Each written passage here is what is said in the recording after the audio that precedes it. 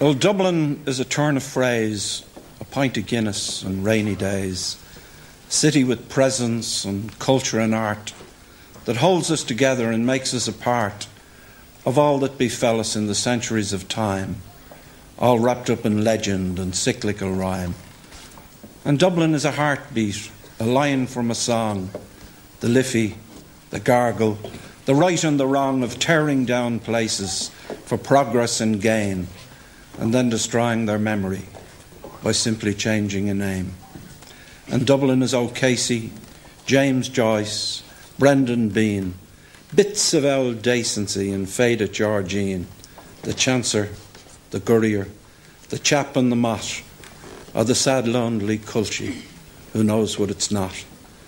And Dublin is Moore Street with a bargain or two, or O'Connell Street plastered with posters, askew, ancient, unsightly, and not always clean, but blessed with a people who know what it's seen.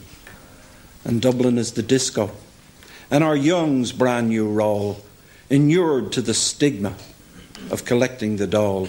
It's Grafton Street's promise and Trinity class, now of fading importance, just like going to Mass. But Dublin has language and a special Ben Lang, and its ghosts made immortal with names like Bang Bang. For the city is a mirror the deeper one delves. And in self conscious moments, we just laugh at ourselves because humour is part of our everyday style. In our manner of speaking, it just sticks out a mile. But for me, Dublin is a lady. Oh, a little tattered and worn. Not everyone's darling, but then I was born to see her eternally regal and proud, hopelessly hopeful, and far ahead of the crowd. For Dublin is in coat, like a great ongoing poem.